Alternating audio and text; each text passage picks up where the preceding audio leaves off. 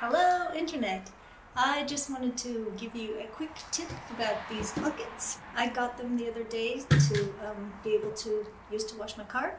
And they come with these lids, these lids that are very cool. But when you buy them, the lid is not on the bucket.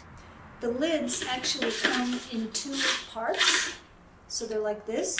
And you first have to put this part here on the bucket. And I, I did it on this one here, but seriously, it just about killed me. And really, it was it was really really hard for me to put on.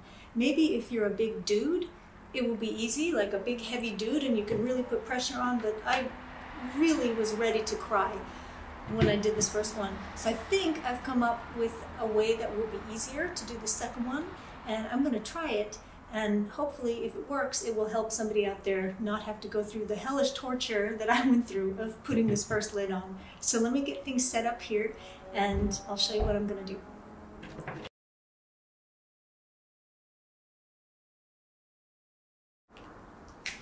Okay, so inside I've put about 15 kilos of weight plates to hold the bucket in place. Keep it keep it nice and steady so it can't move. Okay, so now what I'm going to do is put the lid together, if I can do it. So it's all in one. I'm to put it in place. Okay, now comes now comes the fun part. I'm going to try standing on it and stomping on it to see if that will get the little sucker on. So I've got my ladder here that I can hold on to for balance. Let's see how it goes. This is going to be scary.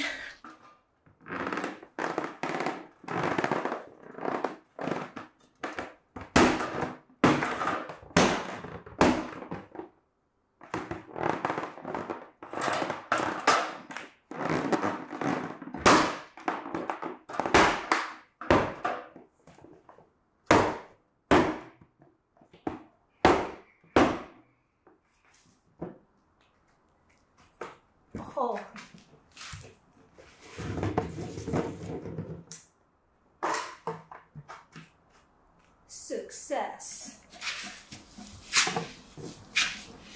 Well, that may have looked very awkward, but I promise you that was way easier than when I did this first one here. So, and yeah, I didn't break the bucket by stamping on it. I purposely didn't wear too hard boots because I was worried I might smash the plastic. I just wore my, my tennis shoes. and yeah, it worked great. So I hope this helps somebody out there. And if you've watched all the way to the end, thanks for watching, and I'll see you next time. Bye, bye, bye. I seriously don't know how anybody ever films themselves without feeling like a total utter, complete douchebag. to be honest, this feels so weird for me.